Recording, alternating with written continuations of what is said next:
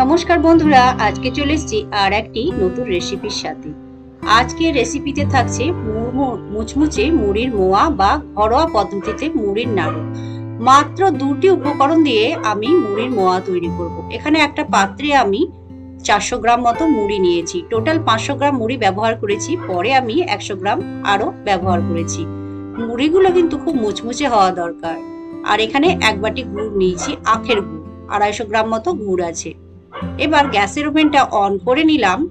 এবার কড়াইয়ের মধ্যে গুড়টা আমি বাটি থেকে ঢেলে নিলাম। গ্যাসের ফ্লেমটা লো টু মিডিয়ামে রেখে রেসিপিটা তৈরি করব। গ্যাসের ফ্লেম অন করে দিয়ে দেখুন গুড়টা ফুটিয়ে নিচ্ছি। গ্যাসের ফ্লেমটা লো করে গুড়টা ফুটিয়ে নেব। গুড়টা যখন ফুটতে ফুটতে এরকম তরল অবস্থাতে আসবে, তখন বুঝতে হবে যে গুড়টা রেডির মুখে চলে এসছে। একদম সোজা পদ্ধতিতে ঘর, ঘরোয়া উপকরণ দিয়ে আজকে আমি মুড়ির মোয়া তৈরি করছি। গুড়টা অনেকক্ষণ ফুটিয়ে নেওয়ার পরে দেখুন, একটা বাটিতে আমি জল নিয়েছি। জলের মধ্যে ওই ফোটানো গুড়টা আমি তুলে একবার দেখে নিচ্ছি, ঠান্ডা করে নিচ্ছি যে চিট ধরেছে কিনা।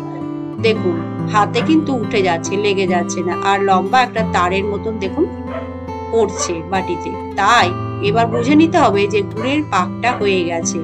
এবার গ্যা- গ্যাসের ফ্লেমটা আমি অফ করে দেব। তারপরে আমি মুড়িগুলো এতে ঢেলে দেব। এই গুড়ের পাকটা কিন্তু খুব ভালোভাবে করতে হবে, নইলে কিন্তু নাড়ুগুলো হাতে মুঠো বাঁধবে না বা মোয়াগুলো মুঠো বাঁধবে না।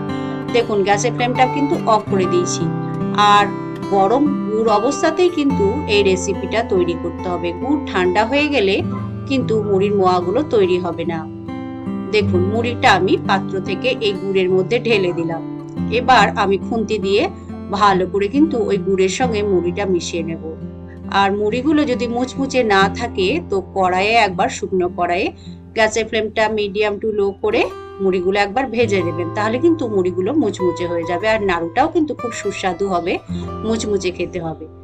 দেখুন, ধীরে ধীরে আস্তে আস্তে খুন্তি দিয়ে আমি গুড়ের সঙ্গে মুড়িটা মিশিয়ে দিচ্ছি। খুব সাবধানে দেখুন মিশাচ্ছি, কারণ গুড়টা তো গরম আছে। আমি এই রেসিপিটা আখের গুড় দিয়ে করেছি। আপনারা এটা যে পাটালি কিনতে পাওয়া যায় বাজারে সেই পাটালি দিয়েও কিন্তু রেসিপিটা করতে পারেন। পাটালিটা গলিয়ে নিতে হবে তারপরে মুড়ির মোয়া তৈরি করা যায়। দেখুন ধীরে ধীরে কিন্তু আমি মাখিয়ে নিচ্ছি। আমার গুড়ের পরিমাণটা একটু বেশি আছে পরে আবার একটু আমি মুড়ি ব্যবহার করব। এখানে টোটাল পাঁচশো গ্রাম মুড়ি ব্যবহার করেছি। আর এই গরম অবস্থাতেই কিন্তু নাড়তে হবে গ্যাসের ওভেনটা কিন্তু অফ করে দিয়েছি। আবার দেখুন, এক কোটো করে মুড়ি আমি ঢেলে দিচ্ছি। পরে একশো গ্রাম মুড়ি আমি এখানে ব্যবহার করেছি। টোটাল পাঁচশো গ্রাম মুড়ি আছে আর আড়াইশো গ্রাম দুধ, গুড় আছে, আখের গুড়। ভালো করে মিশিয়ে নিচ্ছি। এই মুড়ির মোয়া রেসিপিটা কিন্তু শীতকালে বেশিরভাগ তৈরি হয়। আর খেতেও কিন্তু অপূর্ব লাগে। ছোট থেকে বড় সবাই কিন্তু এই মুড়ির মোয়া বা নাড়ু খেতে পছন্দ করে। তাই বাড়িতে আমি আপনাদের কীভাবে তৈরি করতে হয় মুড়ির মোয়া বা নাড়ু আপনাদের খুব সোজা পদ্ধতিতে মাত্র মাত্র দুটো উপকরণ দিয়ে তৈরি করে দেখালাম। বাজারে কিনতে পাওয়া যায়। কিন্তু বাজারের জিনিস তো কখন তৈরি হয়, কত সময় আগে তৈরি হয়, সেগুলো তো ভালো হয় না। বাড়িতেই যদি একটু সময় বার করে আপনারা তৈরি করে খেতে পারেন, তার স্বাদ কিন্তু অপূর্ব হয়। আগেকার দিনে আমাদের মা, দিদা, ঠাকুমারা কিন্তু এরকম ভাবে মুড়ির মোয়া বা নাড়ু তৈরি করে পাত্রের মধ্যে ভরে রাখতো, আমরা বার করে ছোটবেলায় কিন্তু খেয়েছি। সেই দিনগুলো কিন্তু মনে পড়ে যায়। এদিকে একটা বাটিতে সর্ষের তেল নিয়েছি, হাতে আমি সর্ষের তেলটা লাগিয়ে নিয়ে এই এক মুঠো করে মুড়ির মোয়ার ইয়েটা নিয়ে নিলাম। এবার হাতে এরকম করে চেপে চেপে গোল করে দেখুন নাড়ুর আকারে তৈরি করে নিলাম। একটা মুড়ির মোয়া বা মুড়ির নাড়ু তৈরি হয়ে গেল। হাতে সর্ষের তেল লাগিয়ে নিলে কিন্তু হাতে যে গুড়ের একটা চিটেলো ভাব থাকে, আঠালো ভাব থাকে, সেটা হাতে লাগবে না। সেই জন্য তেলটা আমি এখানে ব্যবহার করেছি। হাতে যতক্ষণ তেল থাকবে, নাড়ুগুলো তৈরি করার সময় গুড়টা কিন্তু হাতে লেগে যাবে না।